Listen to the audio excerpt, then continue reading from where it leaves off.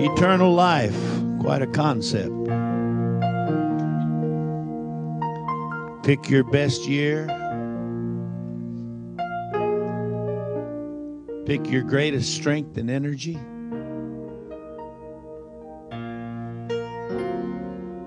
And it'll take the whole eternity to thank Him. And eternal, and eternity never ends.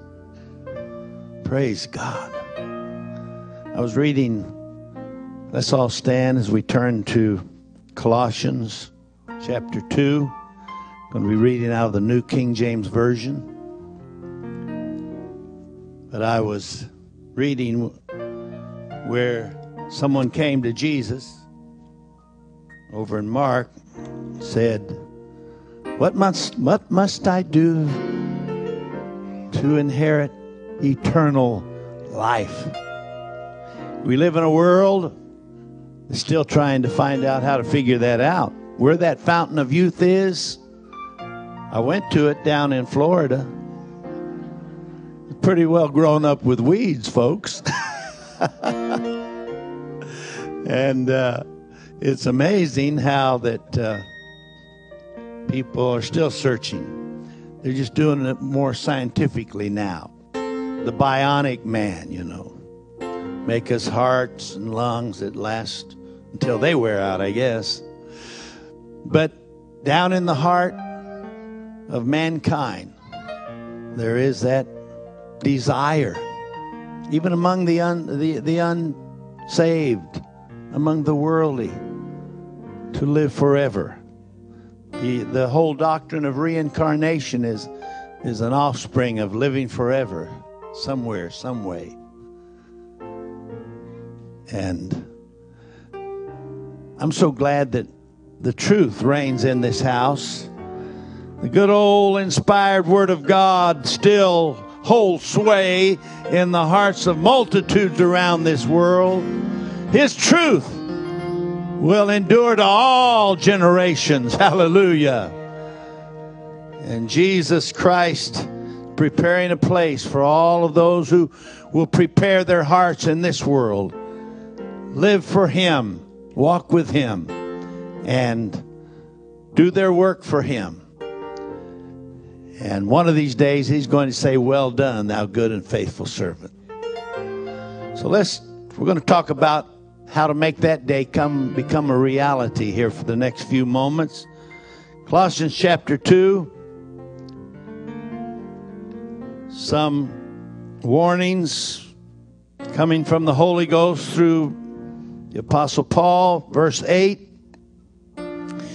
Beware lest anyone cheat you through philosophy and empty deceit, according to the tradition of men, according to the basic principles of the world, and not according to Christ. For in him dwells all the fullness of the Godhead bodily, and you are complete in him who is the head of all principality and power. Beware lest anyone spoil you, cheat you, deceive you through the philosophies of men. Let's turn over in Daniel. It's not just our generation where there is an onslaught against truth, the truth of Almighty God, the truth of His Word, but all the way back in Babylon, all the way back to the history of mankind. Daniel chapter 3, verse 14. Nebuchadnezzar spoke, saying to them, Is it true, Shadrach, Meshach, and Abednego, that you do not serve my gods or worship the gold image which I have set up? Now, if you are ready at the time you hear the sound of the horn, the flute, the harp, the lyre, the psaltery, the symphony with all kinds of music, and you fall down and worship the image which I have made, good. But if you do not worship, you shall be cast immediately into the midst of a burning fiery furnace. And who is the God who will deliver you from my hands. King thought he was the king of the universe, didn't he? he thought he was somebody. Pride goeth always before destruction, haughty spirit always before a fall. Who is the God who will deliver you from my hands? I want to take us through this thought today of taking our stand in this present world. Taking our stand in this present world. It's important that we also join with Shadrach, Meshach, and Abednego to not bow to the call of this world, to the gods of this world, to the entertainments of this world, but we take our stand in a world where it's getting more and more awkward and uncomfortable to take a stand. God still needs somebody to take that stand for righteousness. Hallelujah. Let's praise Him. Thank you, Lord, for your word today. Let it quicken our hearts. Let it do its intended work in our lives. We'll praise you for it and thank you for it. In Jesus' name, amen. God bless you. You may be seated. These young men of Israel had been taken captive, probably as children, small children, and taken to the land of Babylon from Israel. After the Babylonian armies had defeated the nation of Israel and went in and took spoils of everything they wanted in that land, then they got the brightest and the best of the children and said, We're going to take them back to Babylon and we're going to make Babylonians out of them. This was their full intent. And as the children grew up, they were there when their moms and dads didn't feel like singing by that river. How can we sing in a strange land? They said. I'm glad that through the power that comes from Jesus Christ, you can sing in a strange land. And I can sing in that land too. And as life has unfolded, we've all had some strange lands to sing in. God help us to never let circumstances take the songs out of our mouth. Amen. Even when you don't feel like singing, if you'll start, guess what? usually in a few moments' time, you'll start feeling like singing it. Hallelujah. So just take that first step by faith. When trouble seems to be all around, when uh, you can't see past uh, 50 feet ahead of you, when, when, when it's darkness around, when, when trials and temptations are bombarding you, thank God, keep on singing your song about Jesus, because He will see you through and He knows where you're at. And so these young men were there. They witnessed all of that. And as they began to grow into, from children, childhood into young men, the Babylonians began to work with them and try to make Babylonians out of them. Uh, whenever they got into the king's program, they first of all changed their names. They were given Hebrew names, which most of the names of the Old Testament, when you search them out, they, many of them will have a reference to Jehovah, uh, Almighty God. And that was the case of these young men. Hananiah, his name meant uh, that God has favored us.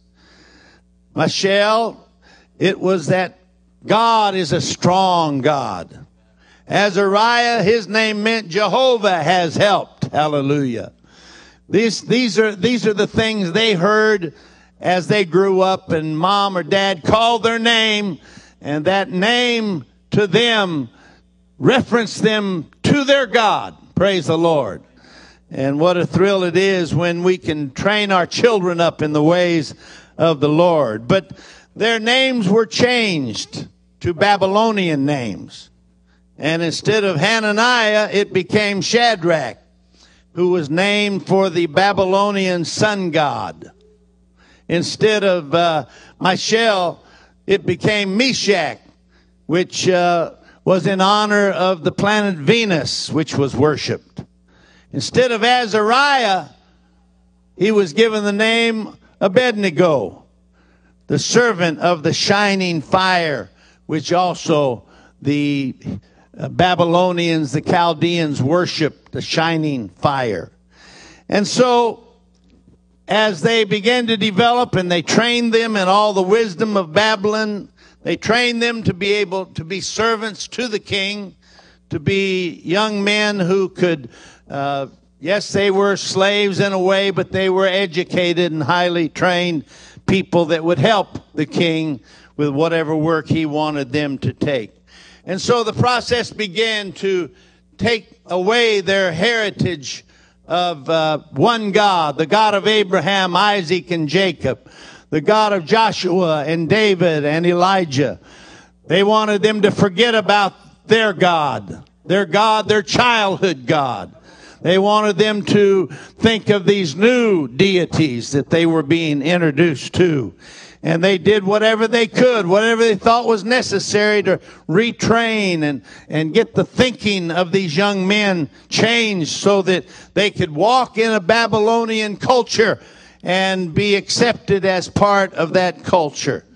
And certainly we live in a similar world in, in the way that the, the spirits of the underworld are fighting against truth, fighting against the will of God being done in this earth. And I'll get to that in a moment. But the story goes on that as, as we came to that point where they were going to have to fall down and worship this image that the king had seen. He was the head of gold of the image. It was the image that declares all the world powers. Guess what? Even down to our present hour. The head was Nebuchadnezzar, the king of Babylon, but the feet were what we know today as the European market, the common market, the European Union, and the, the conglomeration of nations that make Europe up and have joined together to be one force in our world today. And that whole process the king had just heard his dream interpreted. He was caught up with himself. Why not make an image with me being the very head of that image and all the people worshiping? So he called all of his governors, all of his wise men, all of his counselors in and commanded them that they fall down at the sound of the music and worship that 90 foot tall image nine foot wide image that started with gold and came with silver and then brass and, and iron and then iron and clay. You can read about it in Daniel chapter 2. And, but he was the head of it. He wanted to bring glory to himself. He thought that, uh, he, he ruled the world, ruled his universe. And he declares such when he tells these young men, Who is that God that's going to save you out of my hands? Wrong thing to say, Nebuchadnezzar. Don't be challenging the Almighty God, sir. Whatever cuss, cussing you want to do is one thing. But when you start challenging Almighty God, you better find you a deep hole to hide in and he'll get you there even. Nebuchadnezzar didn't have his eyes open yet. He thought he was the man with the plan. And so these three young men refused to bow. They refused to bend to his wishes or his commands. They refused to come under his authority in that regard. In all other regards, it did not violate their God or their faith. They would uh, work with the king. But when it came down to worship, when it came down to commitment, heart commitment, they were not going to bow to anybody's wishes except Almighty God's. So you can change people's name, but You can't change their heart. Hallelujah. You might take the boy out of the country, but you can't take the country out of the boy. And they tried to change their name, tried to get them thinking about these deities that Babylonians worship, but it did not work. Hallelujah. Thank God for convictions we can put in our children. Thank God for truth we can plant in their hearts all the way through their childhood that will hold them steady in this world of iniquity that they are living in. And so, as the story is unfolded, they take their stand. That's how they compare with us today because we're living in a world that requires us to take a stand. If we dare to be silent and let false deities rule and reign in our day, false philosophies of mankind, if we just keep silent, that's what the world wants us to do. They want to shove us in a corner. They don't want your Bible out on your desk. They don't want a lot of things. But there comes a time when uh, uh, we've got to take our stand. We can, we can go along to a certain extent. We can let them change our name if that's absolutely necessary. They can, they can do different things. But I'm telling you, when it comes down to serving the Lord Jesus Christ, let me stand. Take my stand for the name of Jesus. Hallelujah. They want to brag on their philosophies. They want to shout about their concepts. They want to put forth all of their ideas and all of their false traditions of men. And they want me to shut my mouth and sit there. Well, there, there's a limit to shutting my mouth, folks. Got to be a limit to shutting your mouth too. And that's why I'm preaching this today. It's an hour we got to take our stand. We don't have to be mean about it. We can be gentle about it, but we've also got to be firm about it. And let folks know if you if you think you can talk your junk, I'm going to talk some of my truth. Hallelujah. You want to press, produce all your philosophies and throw them out there, and nobody raise their hand and bring a different point, then, uh, well, this is America, thank God. And I've got a right to proclaim the name of Jesus too. Hallelujah. But we're living in a world that wants us to just quiet down, just move away quietly, go to our corner and behave ourselves while they promote all kinds of wickedness, all kinds of sin, all kinds of perversion, and says this is the way it is. This is the way you need to accept it. All kinds of philosophies and even in the religious world. The religious world has bought into the ecumenism. if I can get that word out right, ecumenical concepts of our world today. And it's okay if you believe in Jesus, don't, don't call his name and accept everybody else's beliefs. Well, to a certain degree, we have to accept who they are. I mean, if they're Muslim, they're Muslim. We're going to try to get them to Jesus. they're a sinner, they're a sinner. We're going to try to get them to Jesus. We got, we got one answer. Hallelujah. We got one solution. You are complete in Jesus Christ. Hallelujah. But they want us to accept them. All roads lead to heaven.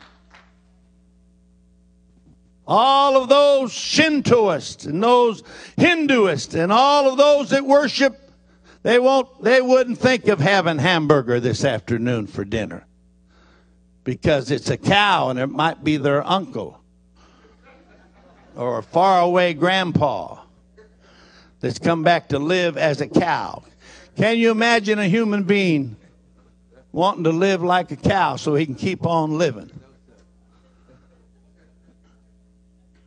And they're wanting me to buy that as truth or that it's okay for people to believe that, thinking that they're on their way or all going to find the same God at the end of the road is the concept. Some go this way, others go that way. But Jesus said, I am the way. I am the truth. I am the life. Now, either we're going to believe Jesus, and the strange thing is, all these people that want us to accept all of their weird doctrines, they, they want to also say Jesus was a wonderful man, a great philosopher, a wonderful teacher of love and kindness. And yes, we should accept him as one of our prophets. But he didn't accept any of the other gods, any of the other deities. He said, I am the way. No man gets to God except by me. It's our world of picking and choosing what we want to believe, what we want to accept as truth. And everybody's fine. I'm okay. You're okay. Everybody's on their way searching for God. And when it all comes out in the end, every will, everyone will have found him. You might have to worship 30,000 other gods on your way uh, to go through this Oriental religion, but uh, you'll find him at the end of the journey, and it'll all be the one true God that everyone's found through all the different ways. I'm just telling you, we're, we're living in a world where there are philosophies of men, ideas of men, and they try to break us down, try to make inroads into our mind and in our heart. And God help us to always be gentle and be kind when we're spreading the gospel of Jesus Christ. But God help us to never back down on the truth of the gospel. It's still by the precious blood of Jesus that my sins have been washed away. Somebody help me praise him today. Hallelujah, hallelujah, hallelujah, hallelujah, hallelujah. Our own battle is not with the different deities of Babylon, although some of them no doubt could go back that far. But we stand against the, the religion of secular humanism in our world today. It's a religion that sorts uh, of sorts without God, without the Bible. It has its own ideas. It chooses to exalt the intelligence of man and to actively resist the truth of scriptures. It believes in a secular humanism, believes in a, a, a universe without a creator, man-made ethics without an authority, life without judgment. It is one of the philosophies of the Antichrist and wars against Jesus Christ and what his apostles wrote under the inspiration of the Holy Ghost. It chooses to ignore and even despise references to God or to the Holy Scriptures. That, that spirit will try to make you uh, feel so ignorant in a world of uh, educated people they, they want you to feel like you are so backwoods, so, so ignorant of truth, and you uh, won't look at all their scientific evidence that they themselves down the road will prove wrong themselves. They've done it over and over and over again. Thank God, at least when they realize it was a hoax, that they'll tell it. That's nice. What they're believing now could be a hoax, too. Human, secular humanism teaches that the universe consists of matter and energy shaped into the present form by chance. Humans were created by the chance process of evolution. It rejects belief in a personal God and denies divine inspiration of the Bible. It asserts that knowledge does not exist apart from human discovery. It claims mankind improves only through human wisdom. It teaches that moral standards are not absolute, but are relative according to the desires of the society.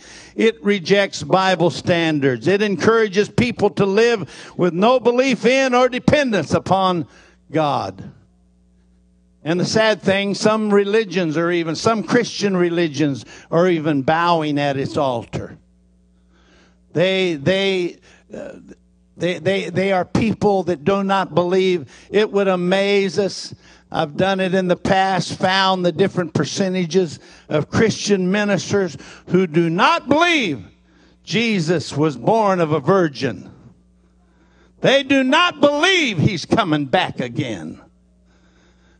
It is shocking when you study the beliefs of those who are supposed to be proclaiming the truth of Jesus Christ to our world. This is why I felt impressed of the Spirit of God this week to remind you it's time for you to take your stand. In a world that's getting darker, God help us that have some light in our soul to let it shine. Let it shine. Let it shine. Hallelujah, hallelujah, hallelujah. If we don't take our stand for God in the Bible, who will? Many in higher education have given themselves fully to this philosophy. Many.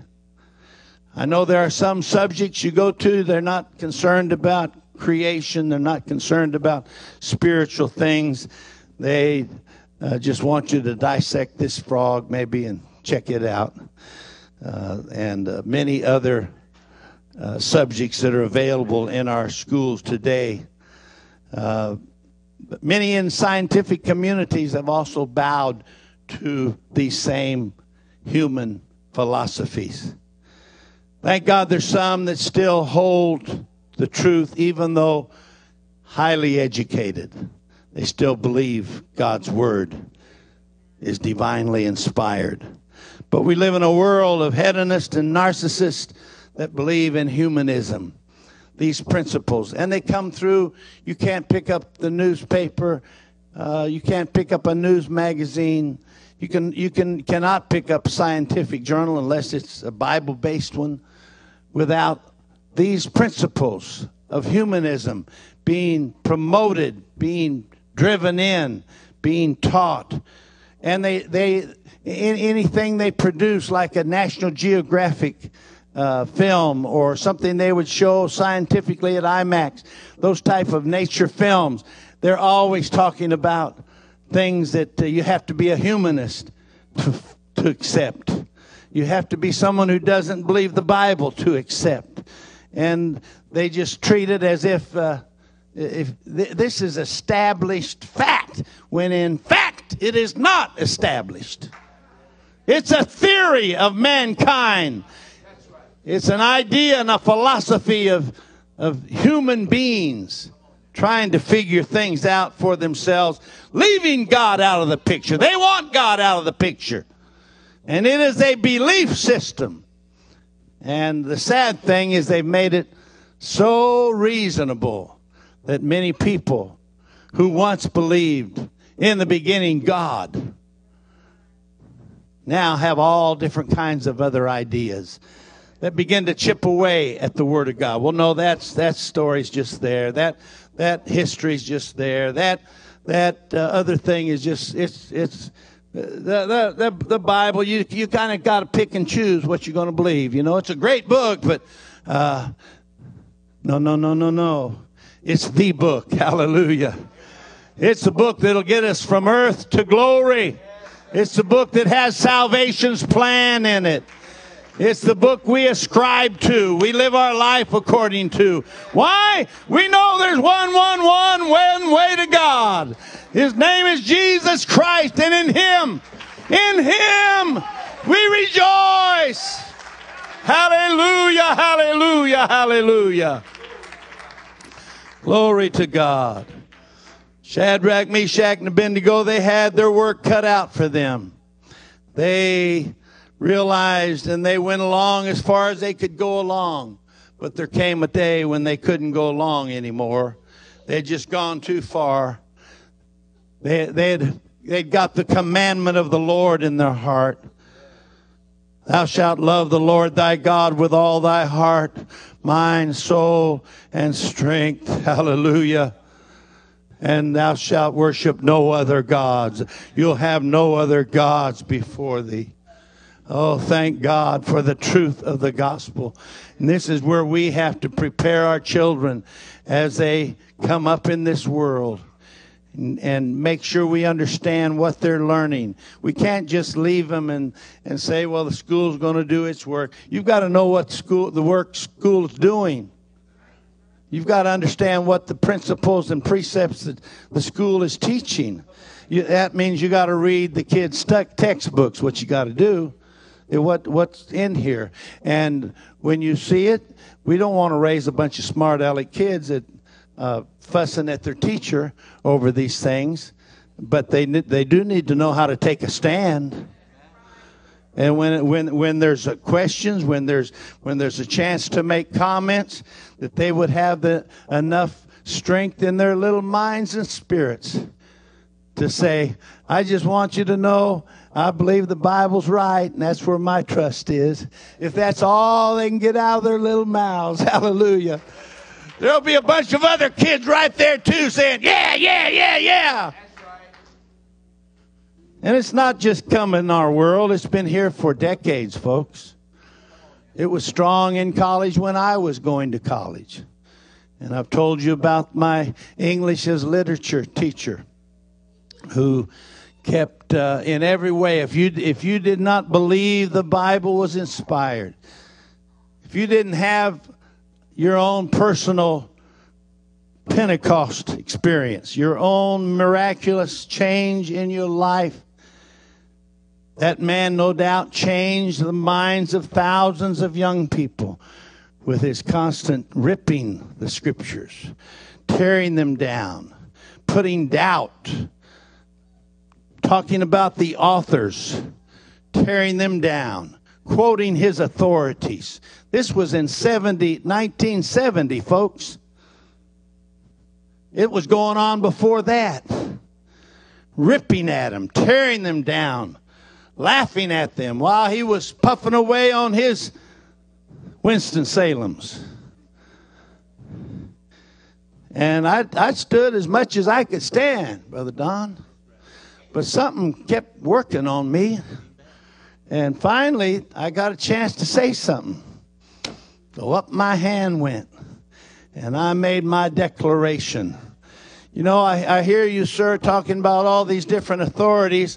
I just want you to know that there are other authorities that would declare the truth of the scriptures where you're trying to put doubt into our i forget how i'd worded it. He didn't come after me wanting to fight me but uh, i've made it pretty plain that day to the point he let me say something for two or three other times and then it was over.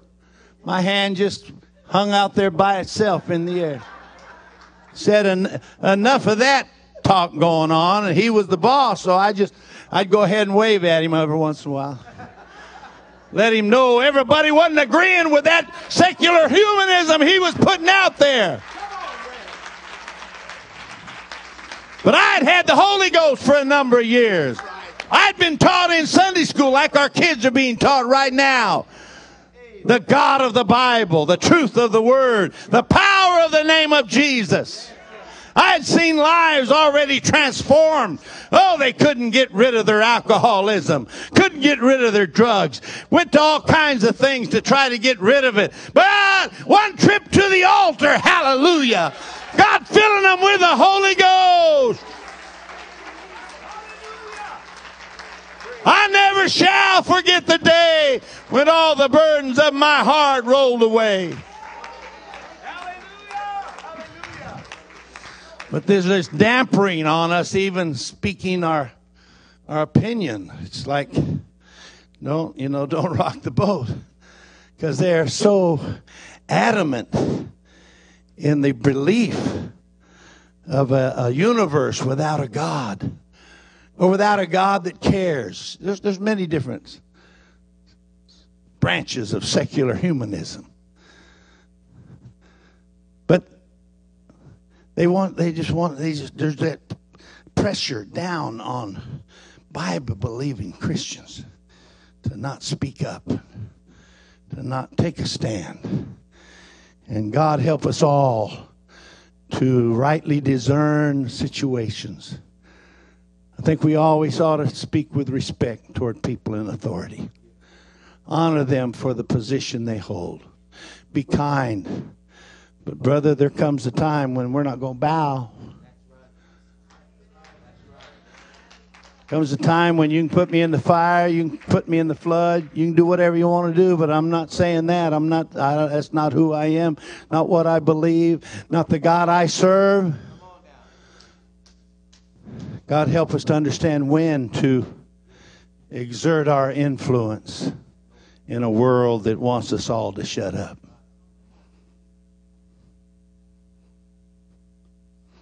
Our institutions of higher education are, in many cases, not all, thank God, but many, shrines built to the gods of philosophy, secular humanism, and the promotion of the spirits of Antichrist.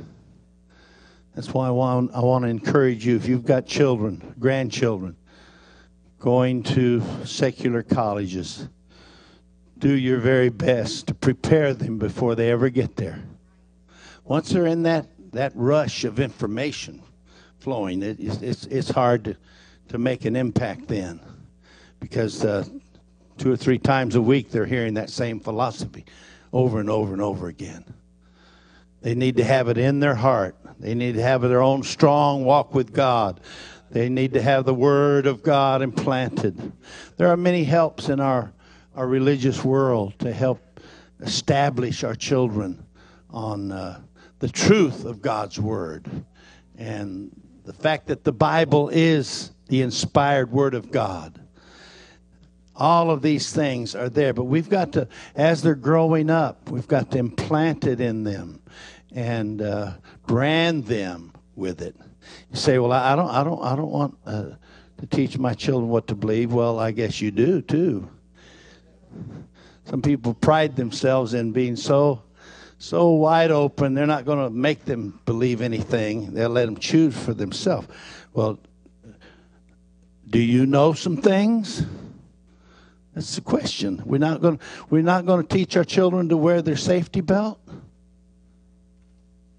Of course we are. We, uh, I know I'm preaching to the choir right here. But we've got to watch over them and protect them and keep them on their journey and give them give them reason. Give them serious reason uh, why the theories of secular humanism, the theories that are against Jesus Christ, that are in our world today and promoted as the truth why they are not the truth. They've never been proved, never been observed. They're still theories, but the world doesn't want you to look at them as theory. This is the, their gospel truth. And you're, you're a fool to come against them. But the word tells us who the fool is. The fool has said in his heart, There is no God. We don't go around calling them fools, but the word called them a fool.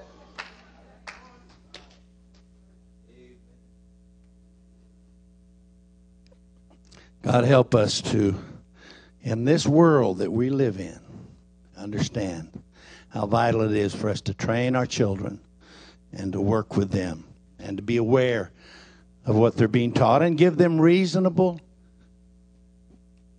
arguments against those lying theories that will cause people to wonder if the Word of God really is divinely inspired. Wonder if heaven is that just people's imagination or did Jesus know what he was talking about when he talked about it? God help us to train our children Teaching them a few times is not training them. Training them is where you go over and over and make it interesting and go over and over and over again and again and again and again. They used to talk about soldiers cleaning their rifle in total darkness. They'd cleaned it so many times in the light, they didn't need any light. They could clean that weapon get ready for the next battle in total darkness. They take it all apart and put it all back together. Now that's what you call trained. God help us to put truth into our children. Do your best to not let them stay in a college atmosphere by themselves, in the dorms. College dorms have a bad name on them, folks. They're co ed nowadays. I'm sure there's some that are not. But the vast majority of the secular colleges are co ed. Guys and gals living in the same room together. And the expected thing of young people, even in high school. That's the sad part. This whole secular humanism's reached on down into high school and middle school, sometimes grade school, trying to change the moral code of a nation. It's not just the Democrats or the Republicans. It's not the independence, It's satanic. It's the devil's work. Not a political thing. It's the spirit of Antichrist that's at work in our world today. And which child can we sacrifice? That's why we've got to train them all. We don't want to give any of them to this world's philosophies.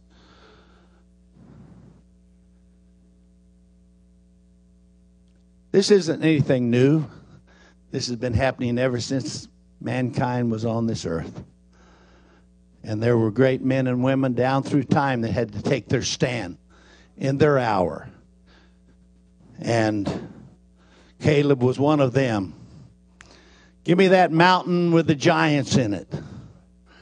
That's the one I want. We don't find anyone else saying, No, Caleb, I want that mountain. No. They were glad to let Caleb take that mountain. That's where the giants were. That's where the giants, the God cursing giants, were. He wanted that mountain. And Caleb got that mountain and conquered it. Hallelujah. Esther, yes, I will go uninvited to the king And if I perish, I perish. Putting her life on the line.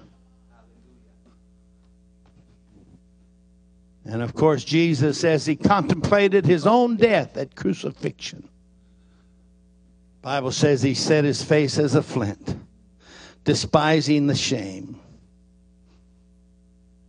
Hung naked in, in sight of the whole world that was around him there in Jerusalem. Talk about shame. Hung there. The hands of evil men. The Roman soldiers were just going through their daily activities. Someone else to torture a little bit, whip them so bad we almost kill them, but not quite, and finish them off on the cross.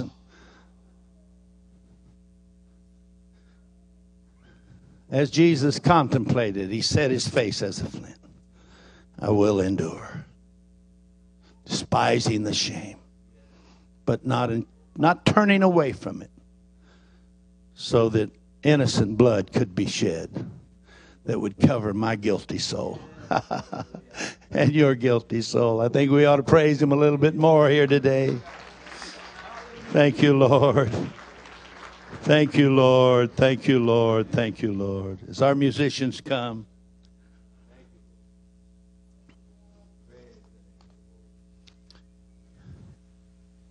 we've got to take our stand in this world for the Word of God, being the inspired Word of God, the message of Jesus Christ, the gospel.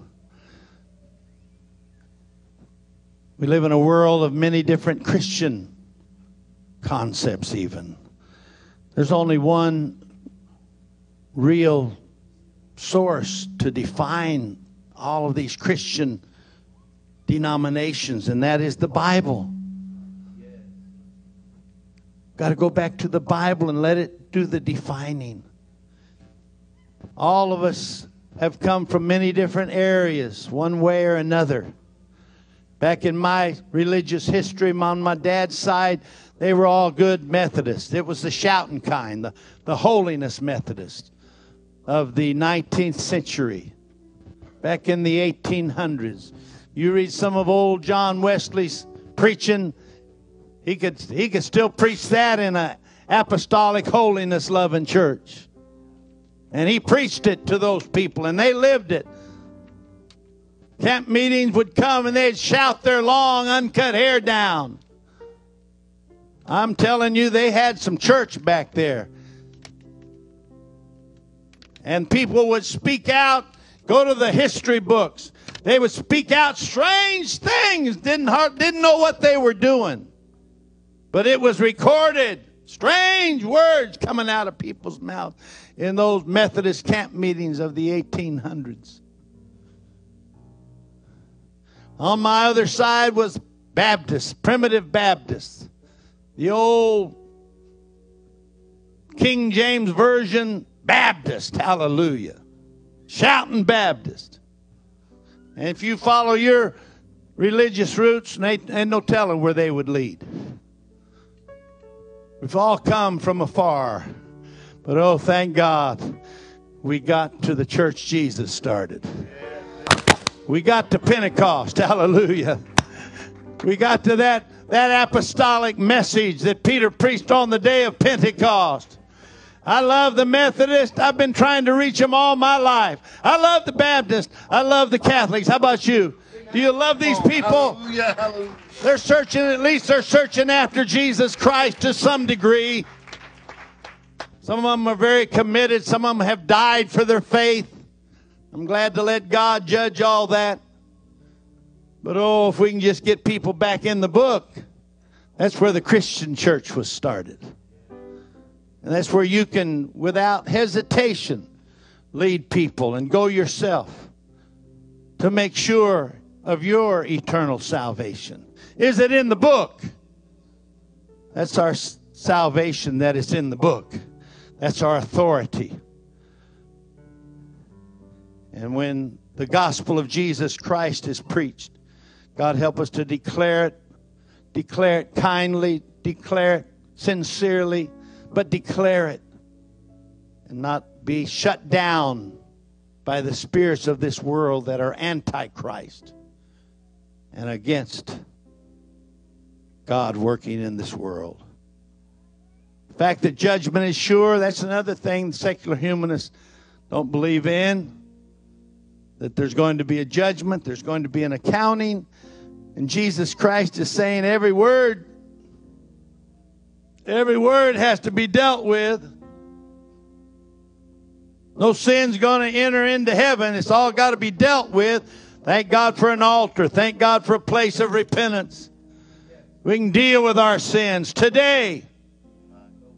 Get them under the blood of Jesus Christ through repentance the Christian lifestyle, separation from this world of wickedness that's gone so far in immodesty and wickedness. Their entertainment is so very ungodly in so many areas. And it's been that way for a long time. I don't know when God's cup of wrath is going to get full, but one of these days He's going to say, It's enough. He's going to call his people home. And a judgment like this world has never known will come on the face of this earth. What a sad day for those who haven't made the preparation. What a sad day for those who haven't bowed their knee to Jesus Christ and made him Lord of their life through obedience to his word. What a sad day. Well, that should cause all of us to not go throughout a day without saying, Lord, help me find a hungry heart today. Help me find someone that I can talk to about you. Help me to win a neighbor, a friend. Help me to talk to them about the kingdom of God and eternal life. Help me to reach them, Lord Jesus. Let's all stand in his presence right now.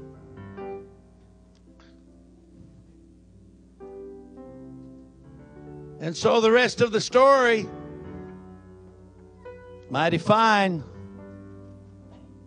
Shadrach, Meshach, and Abednego said, No, we're not going to bow. O king, we're not careful to answer you in this matter which basically is saying we, we made up our mind before you even made the command. This was made up in our mind a long time ago. We're going to serve the Lord and Him only.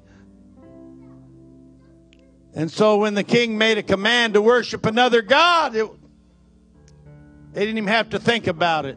I'm sure they did, being human. I'm sure they considered what they were about. The fact that they could lose their life here in the next day or so. But they stood with their convictions, right. determined they're not going to fall down before this image of gold and worship it as if it was a living God. And so when the king's command came and oh, he was kind, he was ready to give him another chance. They said, You can save your time. Don't have to waste any more time, king. Because we're not careful to answer you because we've already made up our mind we're serving the Lord. We've already made up our mind we're going to take our stand. And we're not going to bow. And, King, we may not be delivered out of the fire. But it doesn't matter. We're going to be delivered out of your hands, O King. You may think you killed us. You may think that you destroyed this truth. But this truth is going to endure to all generations. Hallelujah. It's going on. If I'm taken out because I believe it, so be it. God's accepted other sacrifices of martyrdom all down through time. And I'll be the next one. But God's able to deliver me if He chooses to. Hallelujah. And so the king commanded his strongest men to throw them and bind them and throw them in the fire. And they bound these three young men and on their way to the fire, no doubt the, the air was so hot, the men just tried not to even take one breath.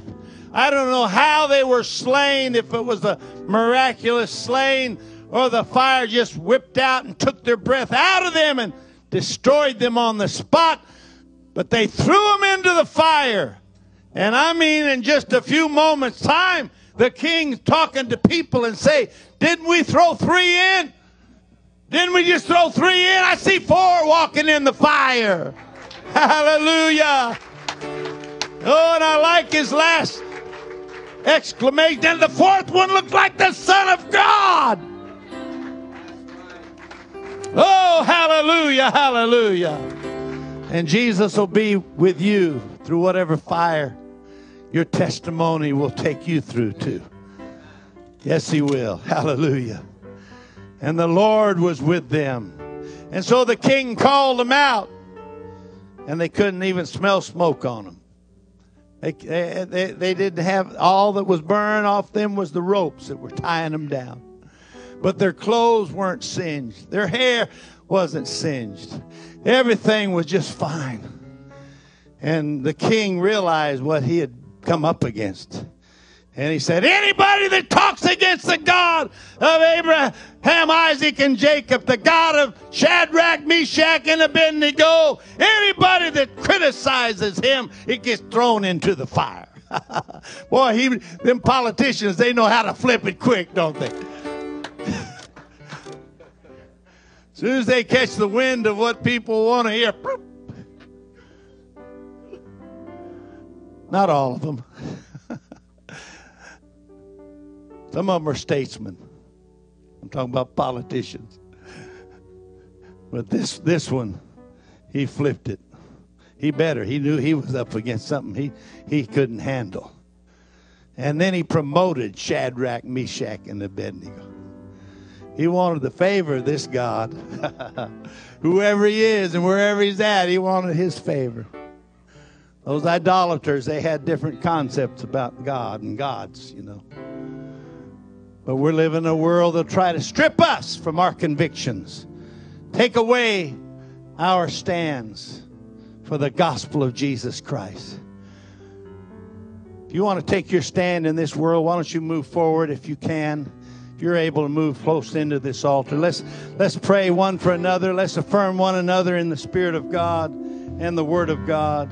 Every one of us will be tested from time to time about our convictions, about who we are. But we can take our stand in this present world a world of darkness, a world of sin and iniquity. But yes, where darkness is, grace. Where sin abounds, grace much more abounds. The light of God's Word will come into our hearts. Hallelujah. Let's call on His name together right now. Thank you.